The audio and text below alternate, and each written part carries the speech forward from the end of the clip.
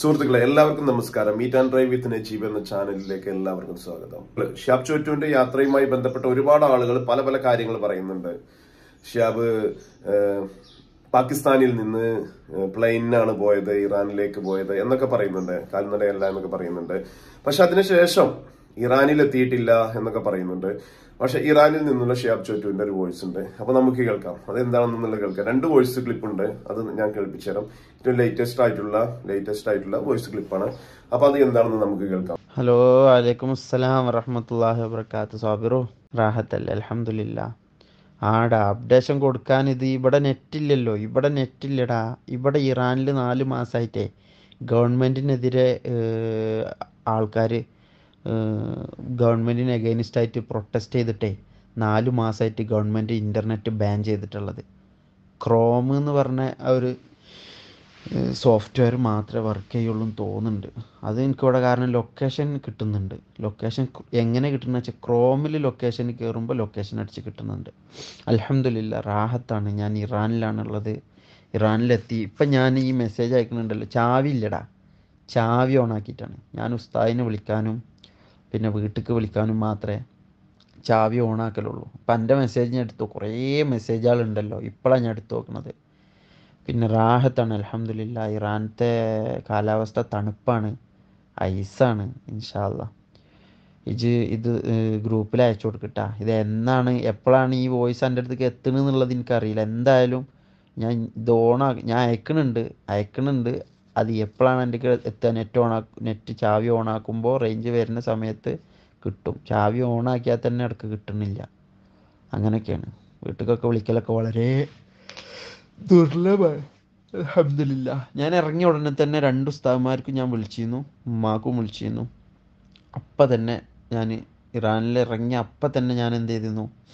ഉസ്താദ്മാർക്കും അവർക്കും ഇൻഫോം ചെയ്തിരുന്നു.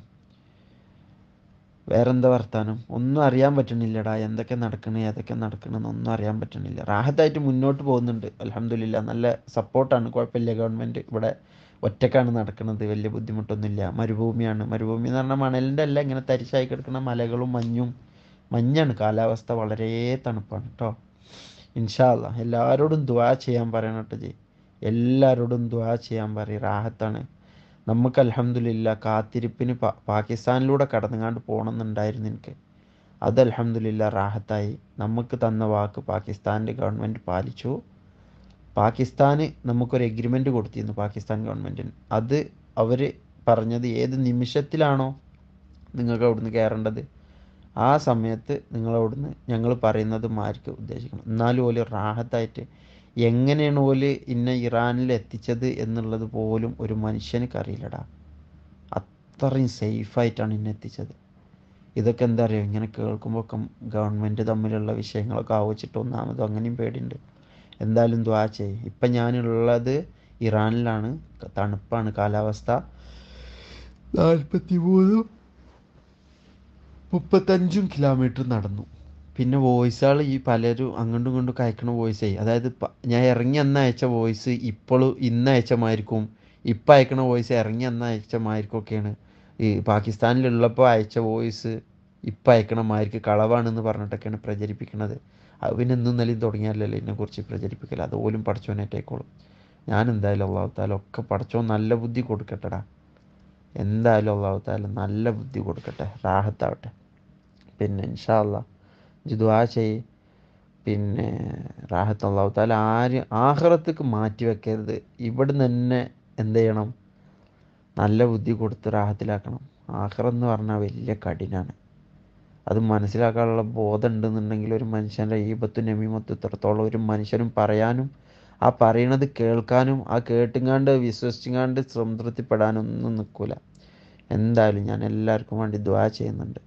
ഇപ്പം എനിക്ക് യാത്രയിൽ അതല്ലാതെ ഒന്നിനും കഴിയൂല. പിന്നെ കാര്യങ്ങളൊക്കെ റാഹത്തായിട്ട് നടന്നു പോണില്ലേ? ഇന്ന് അസ്സാം വലൈക്കും വറഹമത്തുള്ള ഈ വോയിസ് എപ്പോഴാണ് ഈ വോയിസ് എനിക്ക് എപ്പോഴാണ് കിട്ടുകയെന്ന് എനിക്ക് അറിയില്ല കേട്ടാ എന്തായാലും ഇത് ദ്വാ ചെയ്യും. ഓക്കെ അസ്ലാം പിന്നെ സോബ്രോ എടാ ഗ്രൂപ്പിൽ വാട്സപ്പ് ഗ്രൂപ്പിൽ മാത്രം അപ്ഡേഷൻ കൊടുത്താൽ മതി കേട്ടോ വാട്സപ്പ് ഗ്രൂപ്പിൽ മാത്രം അപ്ഡേഷൻ കൊടുത്താൽ മതിടാ അല്ലാതെ എന്താ പറയുക അതെടുത്തുങ്ങാണ്ട് വളച്ചൊടിച്ചിങ്ങാണ്ട് ഇതാക്കുക വാട്സപ്പ് ഗ്രൂപ്പിലുള്ളവർക്ക് നമ്മൾ ആത്മാർത്ഥമായിട്ട് നമ്മളെ എവിടെ എന്താ ഏതാന്ന് അറിയാൻ ആഗ്രഹമുള്ളവർക്ക് വാട്സപ്പ് ഗ്രൂപ്പിൽ അറിയുന്നുണ്ടല്ലോ കാര്യങ്ങൾ. അങ്ങനെ അറിഞ്ഞാൽ മതി. അല്ലാത്തവർ ഈ മറ്റുള്ളവരെ വിശ്വസിച്ചിങ്ങാണ്ട് നമ്മളെ കളവും തെറ്റും വൈബത്തും വിശ്വസിച്ചിങ്ങാണ്ട് നടക്കുന്നവർക്ക് നമ്മൾ എല്ലാവരും തിരുത്തി കൊടുക്കലൊന്നും നമ്മളെ കൊണ്ട് സാധിക്കില്ലല്ലോ എന്തായാലും നമ്മൾ അപ്ഡേഷൻ വാട്സപ്പ് ഗ്രൂപ്പിൽ കൂടെ വിടുന്നുണ്ടല്ലോ. പിന്നെ നിങ്ങൾ വീഡിയോ വിടുന്നില്ലേ? വീഡിയോ ഒക്കെ എന്താ പാടാവല്ലേ? വിടലുണ്ടോ? എന്തായാലും റാഹത്താവട്ടെ.